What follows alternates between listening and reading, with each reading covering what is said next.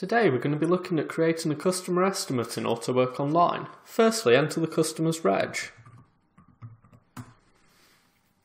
Because we'd set up this vehicle and customer before, the reg automatically links to the correct customer's account.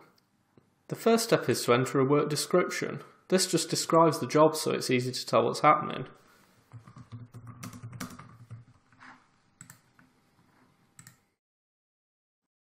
Now we're going to add some parts and labour to the job. Click the Add Job button, followed by Repair Times. The Labour Times feature contains a database of repair times for various tasks. This is categorised into various areas, but can be searched as well, so we're going to enter brake pads, and then click Search. You're then able to select the actual task that we need to do, so we're going to renew the brake pads. We can then either choose to just add the labour for the job or select parts as well. We're going to select the parts from the catalogue.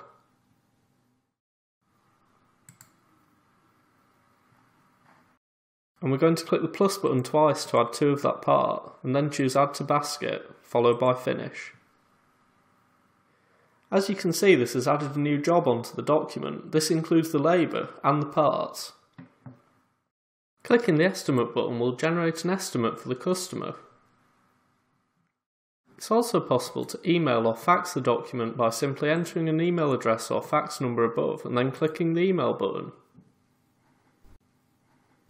Thank you for taking the time to watch this video. Please visit autowork.online for regular updates.